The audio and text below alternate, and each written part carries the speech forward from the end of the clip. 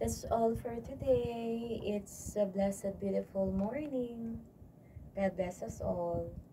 Thank you so much.